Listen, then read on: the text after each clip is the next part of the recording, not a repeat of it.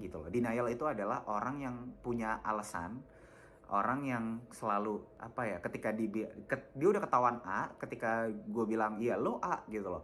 Enggak dia bilang enggak gue B gitu loh. Nah itu denial tuh. Terima kasih yang udah ngeklik video ini dan jangan lupa untuk di subscribe biar aku makin terkenal. Dan jangan lupa kalau misalnya ada iklan jangan di skip ya biar aku makin kaya. Thank you. Good day everyone, as you know my name Independent Das, aka Julian. Balik lagi sama gua Maaf kalau openingnya bikin kaget, ya nggak kaget juga sih. Maksud gua karena gue sendiri, jadi ya udah gue opening sekali Tapi kalau ngobrol-ngobrol biasanya sih enggak sih.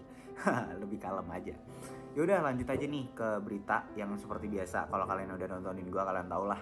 Gue kali ini beritanya masih sama dari Tribun News. Dan yang pastinya masih diposting bulan ini 2020 ya dengan judul Fakta Pelecehan Seksual Halte UIN Ciputat Pelaku minum obat kuat sebelum beraksi. Kejiwaan normal. Kejiwaannya normal Nafsunya nggak normal. Maksud gue gini Dari judul aja dulu ya. Kenapa orang sebelum beraksi harus minum obat kuat dulu?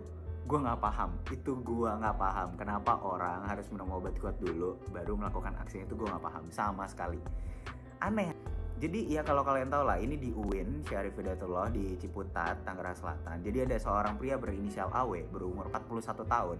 Tiba-tiba mengeluarkan tititnya pada hari Rabu 11 Maret 2020 nah, titit itu bahasa gue itu kemaluan di berita. Jadi kalau kalian mau baca yang lebih sopan kalian langsung ke beritanya aja ya.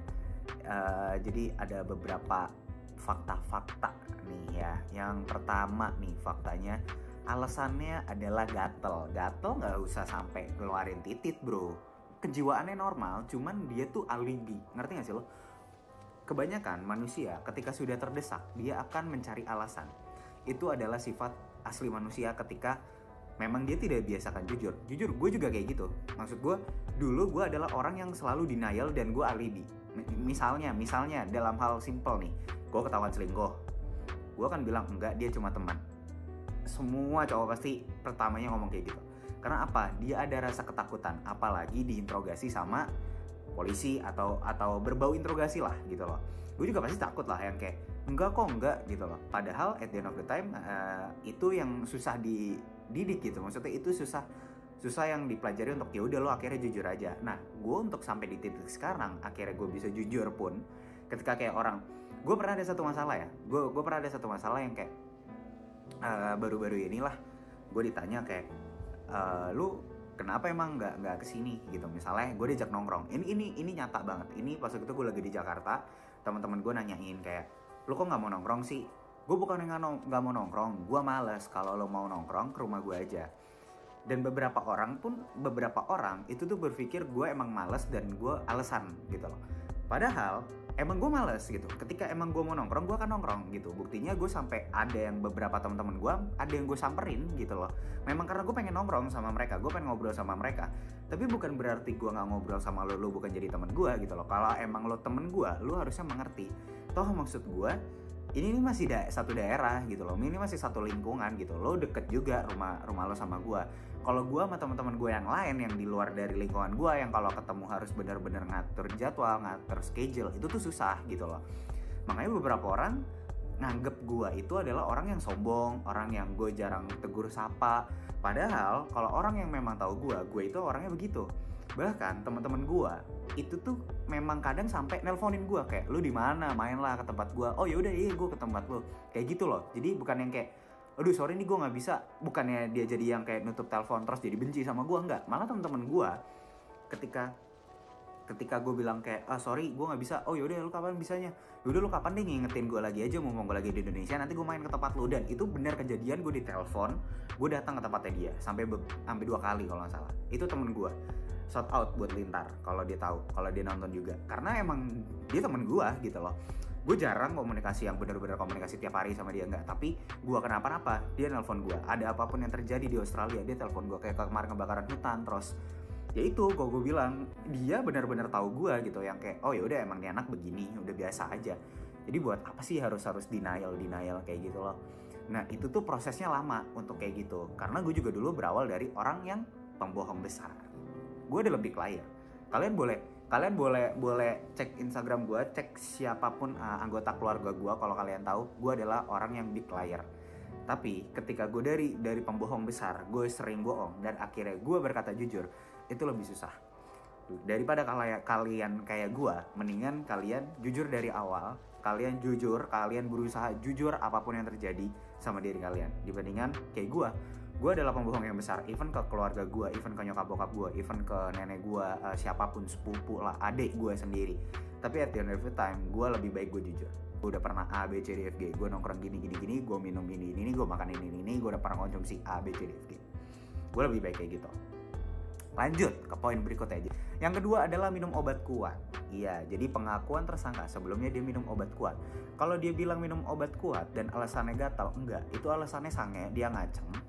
Jadi dia nggak tahu harus melampiaskan apa. Bukan berarti bukan berarti gue nggak tahu ya obat kuat tuh efeknya apa ya. Gue juga pernah tahu gue pernah make gitu loh. Maksud gue udah lah nggak usah denial sih. Maksud gue dia cuman alibi aja gitu loh. Jadinya denial kan. Maksud gue hal-hal yang nggak harus dibikin denial itu jadi orang jadi denial gitu loh. Denial itu adalah orang yang punya alasan orang yang selalu apa ya ketika di, ke, dia udah ketahuan A ketika gue bilang iya lo A gitu loh. Enggak dia bilang enggak gue B gitu loh. Nah itu denial tuh karena tidak sesuai fakta. Karena dia menyangkal ya bilangnya denial. Deny itu menolak kata kata dasarnya deny menolak. Nah yang berikutnya adalah kejiwaannya normal. Oke gini loh semua orang itu punya kebutuhan seks gue bisa bilang. Semua orang punya kebutuhan seks tapi di satu sisi di satu sisi gimana cara lo mengontrol kebutuhan seks? Lo gua gue itu butuh. Gue itu salah satu orang yang suka banget sama seks. Suka gue suka. Tapi bukan berarti gue menjadikan diri gue jadi predator. Menjadikan ketika gue ketemu sama cewek emang gue cuma mau ngewe doang. Enggak tapi gue jujur sama perempuan gitu loh. Lo temenan sama gue lo deket sama gue gue nggak bisa sehat-sehat aja. Apalagi kalau kita udah terlampau batas. Maksudnya dalam artian gue tahu gimana cara ngejaga jarak ngejaga barrier ngejaga tembok gitu loh. Gue adalah orang yang cewek belum gue pacarin aja itu udah gue bisa cium udah gue bisa pegang udah bisa gue mabok udah gue biasa udah gue bisa elus elus palanya udah gue manjain udah segala macam udah berasa kayak pacar. Tapi belum pacaran belum ada status yang jelas. Itu gue tipe cowok yang kayak gitu. Kalau kalian mau bilang fuckboy silahkan. Gue fuckboy. Tapi gue sekarang gue masih sama. Julian yang dulu dan Julian yang sekarang mungkin hal yang seperti itu sama.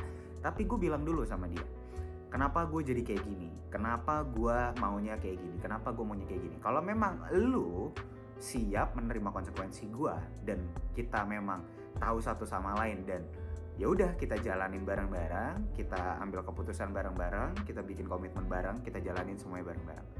Itu yang nggak semua orang tahu. Orang cuma melihat gue gue pernah gue pernah hampir mau digebukin karena masalah kayak gitu.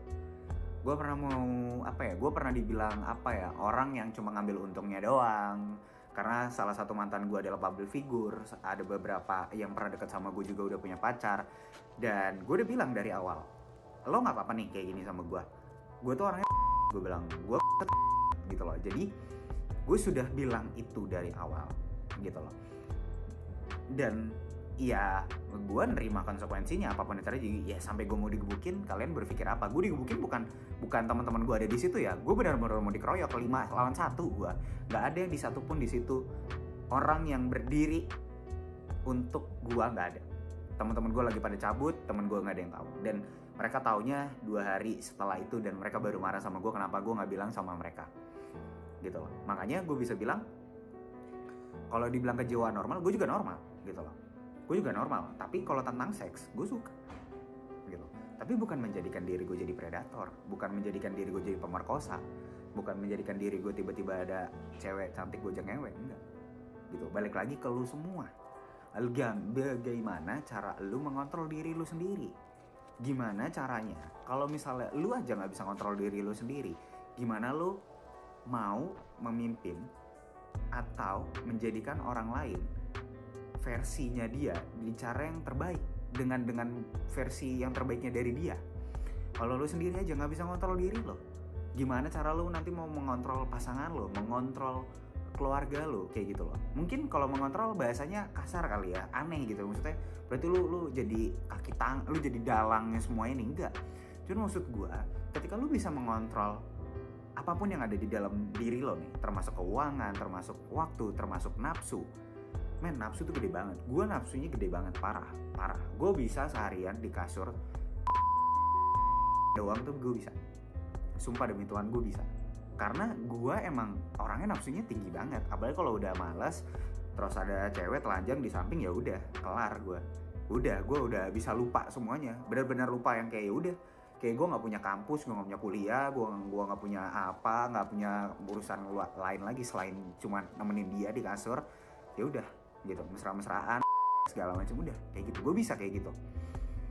Tapi gue sekarang berusaha untuk mengontrol gitu loh karena itu susah. Itu susah buat gue karena itu adalah salah satu titik kelemahan gue juga.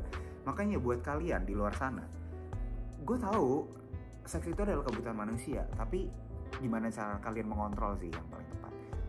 Pertanyaan gue cuma satu. Kalian udah bisa ngontrol apa dalam hidup kalian